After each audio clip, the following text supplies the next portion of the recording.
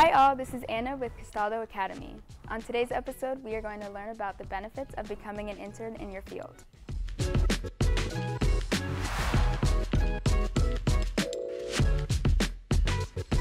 I urge anyone and everyone who is looking for that starting point to find an internship.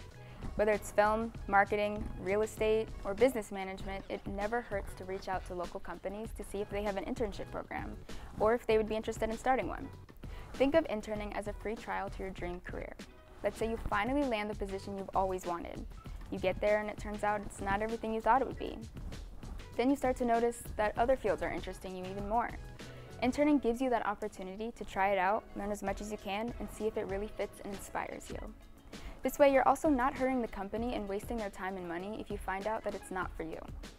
One of the best benefits of interning is networking. You get to work alongside people who have mastered their craft. You get to put your name out there and prove yourself. Meet as many people as you can and build those strong connections. Let them know your goals. You never know who might have the answers you've been looking for. So, you might be saying, how does one get an internship? First, do your research. Find a few companies that are doing the kind of work you wish to be doing and contact their team. Some companies offer internships and will have all ways to apply on their website. If the company you're applying for does not have an internship program, reach out to them and ask if they would be interested in starting one. The best way to do this is an introductory email. Explain who you are and what you want to accomplish. You should be open with your potential employer and express the drive and passion you have for the job.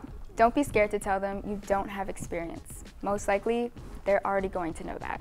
Most employers will feel appreciated to know that you want to work for their company at little to no pay.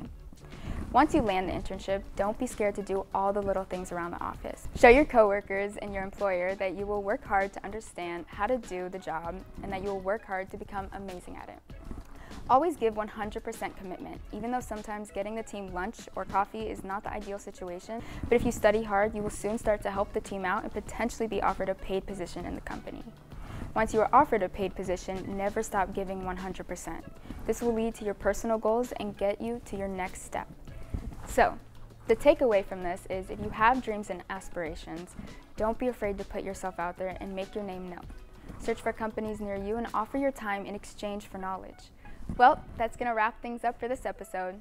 Be sure to comment, like, and subscribe. From Castaldo Academy, this is Anna, and we will see you on the next one.